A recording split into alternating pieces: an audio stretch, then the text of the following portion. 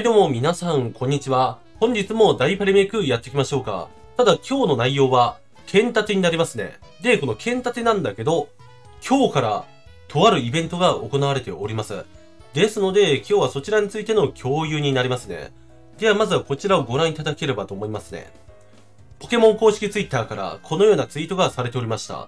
12月の27日月曜日8時59分まで、なんとね、ポケモン剣立てで、ポケモンの巣に、スターミー、デリバード、フリージオ、こちらの3体のポケモンが出現することが確認取れました。その中で、稀に色違いのデリバードに出会えることがあるっていうことで、こちらがかなり話題になっております。通常であれば色違いっていうのは、4096分の1で出ることになると思うんですが、今回のイベントではなんとね、50分の1で色違いのデリバードと会うことができます。これはね、色違い好きにとっては、たまらないイベントではないでしょうか。期間に関しましては、12月の27日までっていうことなので、約10日間開催される予定になってるみたいです。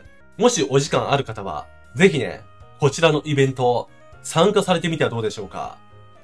自分もね、後で時間があれば、ワイルドエリアに行ってこようと思ってます。けど、いいよね。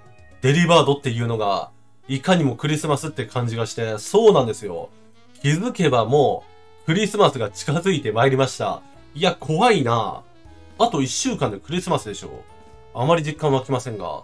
さあ、そういったところで今日の動画この辺りで終わっていきます。まだチャンネル登録お済みでない方がもしもいらっしゃいましたら、ぜひこれを機会にチャンネル登録して、これからも動画を見ていただければ幸いです。よろしくお願いします。ではまた次回の動画でお会いしましょう。バイバイじゃあね